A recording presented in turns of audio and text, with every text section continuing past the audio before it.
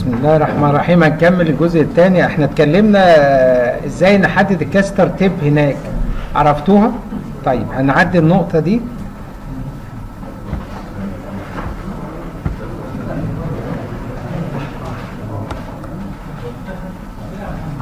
و ال- الحاجة ال- technical tip الرابعة حضراتكم اللي هي إزاي ندي Xylocaine. للقسطرة أنا ممكن أدي 10 أو 20 سم ونلاقي ال patient بيصور. وممكن ندي 2 3 سم بطريقة صح نلاقي المريض ما يحسش وما تألمش فأول حاجة بالنسبة لنا يعني في اللي هو ال- مفيش point pointer يا جماعة. ماشي ماشي شكرا. وبيشتغل إزاي؟ الكمبيوتر؟ محمد؟ اللي هو ده؟ طيب. هو بالنسبة لنا بالنسبة لنا هنا أنا حد حددت ال- anatomical landmark اللي أنا هدخل فيها. ما ينفعش إن أنا نقعد ندي Xylo يمين وشمال و infiltration في كل حتة. أ- أنا بالنسبة لي ما ننساش برضو اللي هي موضوع إيه؟ إن إحنا لازم زي ما بندي Xylo هنا ندي Xylo مكان أنا ما بخيط القسطره لأن ما ينفعش أركب القسطره والعيان ما بيحسش وفي الآخر أخد له ال- stitch بتاع التثبيت من غير anesthesia. بالنسبة لنا طبعا بدل ما بندي ال anesthesia في كل اتجاه لا أنا بدخل وهوريكم دلوقتي المريض اللي جاي آه إزاي بندخل بال syringe عادي اللي فيها Xylo ونعمل suction أول ما بشوف ال flow بطلع شوية لورا وبنعمل بنحقن وأنا طالع بس ما بروحش يمين وشمال.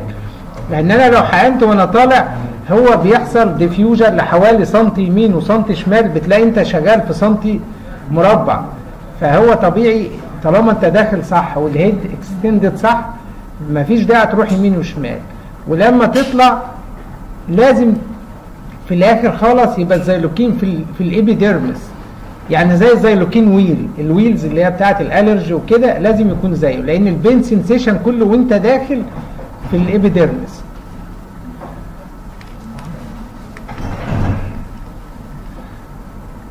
فلو شفنا ده ده ال- anatomy بتاعنا أو ال histology هنلاقي كل ال pain sensation كله ماشي في ال في ال epidermis وفي الجزء اللي تحته على طول. فأنا في الآخر خالص الهدف بتاعي كده إن يبقى في زي Xylocaine wheal وال Xylocaine متعاطي في مكان واحد ومش يمين وشمال وعاطي ورا هنا مكان التثبيت بتاعي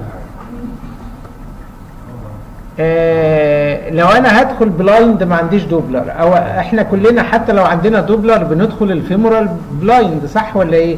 فما ينفعش ندخل ندور على vein جنب artery ب trocar. لأن أنا لو لو وارد خالص إن أنا ه puncture ال artery فيلزمك تعمل compression المفروض لو صح ربع ساعة فما ينفعش. فأنا بدخل بشوف ال vein فين؟ لأن أنا حتى لو دخلت في artery بال syringe مش محتاج compression هسحبها وأدور برضه. فأنا لازم نعمل localization زي ما إحنا شايفين كده بال بال needle العادية مش بال trocar وبعد كده بدخل عليها بطريقة اهيت الاثنين guided مع بعض. لازم ال tip بتاعت ال trocar بتاعي يا جماعة ركزوا فيها دي مهمة خالص. أنا ال syringe دي شايفين هو السن بتاع السرنجة ده كله 3 سم أنا داخل هنا 2 سم فمنطقيا إن أنا ما أدخلش بال trocar أكتر من 2 سم يعني ما ندخلش 4 سم ونقول ما فيش blood حتى لو داخل ال direction صح ما أنا عملت transfixation لل vein فأنا هدخل الطول بتاع سن السرنجة اللي أنا دخلته اللي هو ال maximum 3 سم بتاعتها. دي حاجة. تاني حاجة ال tip بتاعتي ال tip بتاعتي عند ال tip عند مكان ال puncture بتاع ال syringe. ونهاية ال syringe عند نهاية ال syringe الثانية لا تبقى طالعة عنها ولا نازلة عنها لأن لأن لو هي مرتفعة عنها 2 3 مللي هتلاقي السن بتاعها نازل 2 3 سم تحت مكان السن الثاني فيبقى دي الطريقة سهلة إن أنا ندور على ال vein و و وما نعملش puncture لل artery كتير.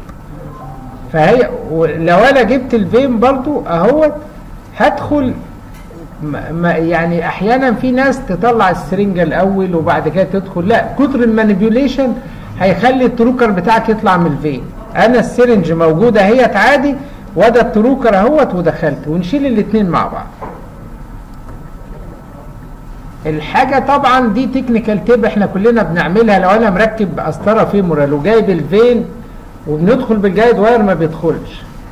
غالبا يعني من وجهة نظري بيبقى أنا داخل ده بيخبط في ال wall بتاع لو إحنا تخيلنا ده ال vein وده ال guide wire أهوت بيخبط في ال wall. فأنا بعمل إيه؟ بنيم ال trocar. من هنا ماشي بوطيه. ماشي؟ وبنرفع ده من هنا بحيث إن أنا ال tip بدل ما هي هنا بقت هنا وبقى ده ماشي كده. ماشي؟ يبقى مع ال long axis بتاع ال vein. فأنا ده اللي أنا بعمله أهو. برفع بصباعي دهوت من هنا وبتكب ده من هنا. كأني رفعت التيب بتاعت الارتري بتاعت التروكر في في الفين فهي هتبقى الطريقة كده. فهتلاقي بدل ده ما كان جاي في ال wall هنا بقى داخل هنا وهتلاقي ال guide wire يدخل بسهولة. حاجة برضو ال subclavian catheter إحنا بركبهاش ماشي؟ ولا هي recommended في ال guidelines ولا نخليها option لينا لدرجة إن أنا مثلا بقالي سنين طويلة ما ركبت ال subclavian وممنوع عندنا في دمنهور إن إحنا نركب subclavian لأن لأن أنا لما بنعمل injury لل wall بتاع ال vein ده طبعا بيعمل لي مشكلة بيعمل لي stenosis بعد كده. فبالنسبة لنا لو إحنا ركبنا لأي ظروف ما يعني افترضنا إن ال vein ده. ال arm ده عمل فيه فيستولات و graft وما عادش هيستخدمه وال patient poor access ركب خلاص. إنما مش fistula واقفه ممكن حد جراح تاني يعمل له graft فما تحكمش على ال vein بالإعدام. فخلينا كده لو أنا ركبت قسطره سب كليفيا ومش شغالة دايما نخلي الأزرق فوق والأحمر تحت. الأحمر ده side opening لأن القسطره بتبقى ماشيه داخله على ال wall بتاع ال superior vena cava ما بتوصلش right atria فلو إحنا خليناها ك side opening فهنلاقي بيعمل suction لما أنا بنسحب انما لو خلينا دي جوه تحت هتبقى ال side opening directed لل main pool بتاع ال superior vena cava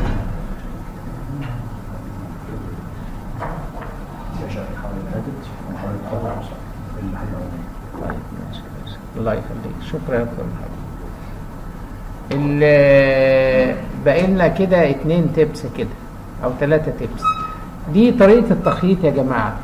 يعني إحنا بنركب قسطرة والعيان محسش بس بعد كده بيروح ممكن يدعي علينا بعد كده. من كتر الألم اللي, اللي ال stitch عمله. دي قبل كده أنا عملت لها presentation في ال world congress 2011 فكان في فانكوفر. دي طريقة بسيطة يعني دي, دي أنا فكرت فيها مش منشورة في كتب ولا حاجة بس هي حاجة practical إن أنا لو هركب internal jugular هنخيط من فوق لتحت. وهنخيط من هنا من فوق لتحت لأن العيان ال internal jugular راسه بتتحرك يمين وشمال. فبالتالي الغرزة دي الداخلة دي ودي بيتحركوا مع بعض ودي ودي بيتحركوا مع بعض. فتتخيلوا لو أنا واخدها كده side side to side كده. اولا في ال stitch دي أهوت ال skin كده بتشد ماشي؟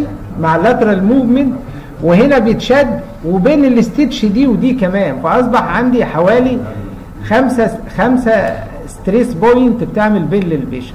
فال skin بيبقى macerated فيه فلو إحنا جربناها هنخلي دي تبقى كده وما تبقاش الغرزه مموتة ال skin على على القسطره لازم ده مجرد fixation إن أنا بقربهم لبعض.